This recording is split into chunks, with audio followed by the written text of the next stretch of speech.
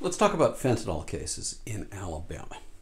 Possession of fentanyl is a Class D felony. It means you're looking at from a year and a day to five years in prison if you're convicted. Now, possession can be somebody who just directly possesses it, or it can happen if somebody obtains the drugs by fraud or deceit or misrepresentation, or they alter a prescription or any number of ways.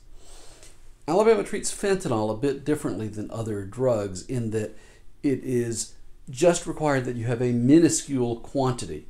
And in fact, it's almost hard to be charged with simple possession of fentanyl because the amounts are so tiny. To be charged with a straight possession case of fentanyl, a person would have to have under one half gram of fentanyl. So, by way of example, have a sweet and low, that's one gram. If a person had this amount, but it was fentanyl instead of sweet and low, they would be charged with distribution of fentanyl. And that's because anybody who has between a half to one gram is guilty of possession with intent to distribute. And now we're talking about two to 20 years in prison.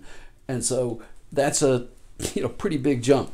Now one of the problems with fentanyl is, and one of the reasons that Alabama is so severe about it, is that it is extremely, extremely powerful. So if I take this packet and I cut it in half, all right, so now we have, let's just for the sake of argument, argue that we have the half gram for possession.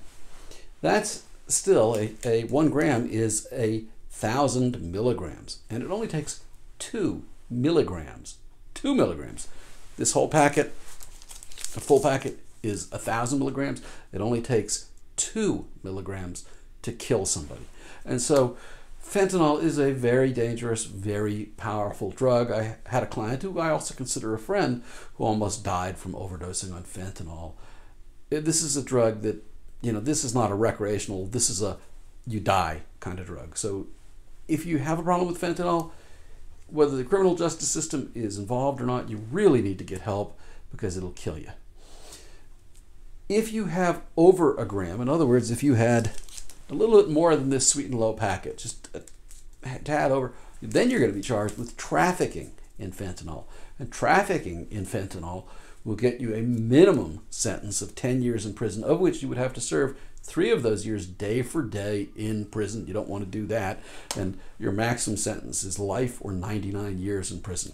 So I, I would urge you that if you have a fentanyl problem, get help. If you have a legal problem involving fentanyl, get help.